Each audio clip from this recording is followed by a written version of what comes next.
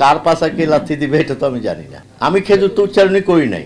অনেকের অনেক জায়গায় জ্বালা আছে তারা সেই জ্বালা থেকে হয়তো এটা ভিন্নভাবে ব্যাখ্যা করে। আমি বলছি খেজুরের পরিবর্তন না।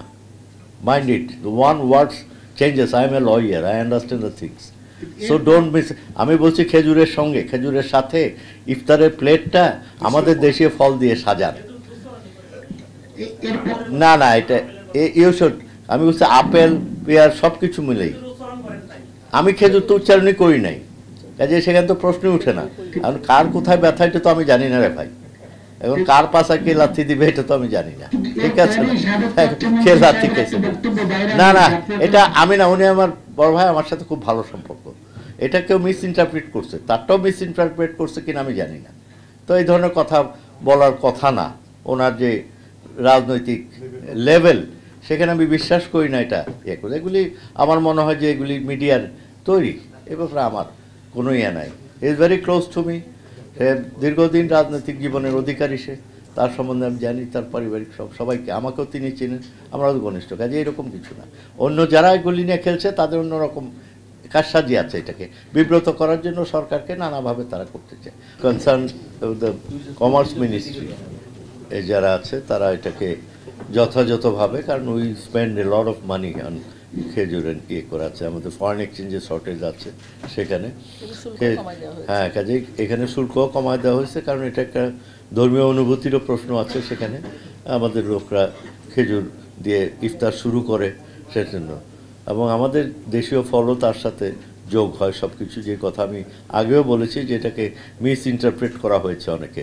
But I have told detail তো এখন অনেকের অনেক জায়গায় জ্বালা আছে, তারা সেই জ্বালা থেকে হয়তো এটা ভিন্নভাবে ব্যাখ্যা করেন। এই কষ্ট তো আমরা তাদের লাঘব করতে পারব না। তাদেরকে জনগণই তাদের উত্তর দেবে, তাদের আমরা কোনো উত্তরও দিতে চাচ্ছি না। তা পাগল হয়ে গেছে, ধন্যবাদ। আমার কথা হলো যে আমাদের একটা ট্রেন্ড আছে। আমরা যখনই কোনো উৎসব আছে, কোনো ইয়ে আছে, ঈদ আসে আমরা আমার যেটুকু পারিবারিক প্রয়োজন আছে, সেটুকুর বাইরেও কিন্তু আমরা মনে হয় যেমন একটা ইয়ে করে যায় রমজান মাসে আমি জানি না যেখানে কৃচ্ছতা বা ইয়ে করা, আবার এটা কীভাবে আপনারা ব্যাখ্যা করেন জানি না but we buy too much এবং আমরা এত লাক্সারি আইটেম টেবিলে দেই যে আছে যে মনে উৎসব পালন করছি। এখানে কিন্তু ধর্মীয়ভাবে সেখানে অন্যরকম ব্যাখ্যা আছে, সেটা যারা করে। এবং ব্যবসায়ীরা অন্যান্য জায়গায় সাহায্য করে।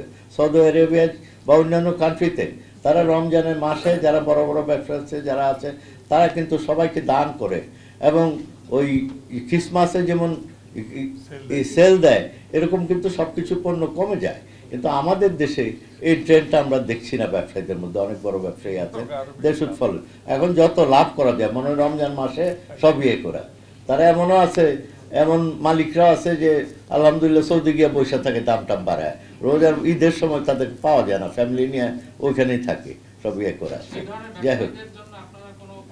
একেবারে জিরো টলারেন্স কোনো মানে কি? ওয়েব গট স্পেসিফিক আইন, কোনো টোনোর ব্যাপার নাই।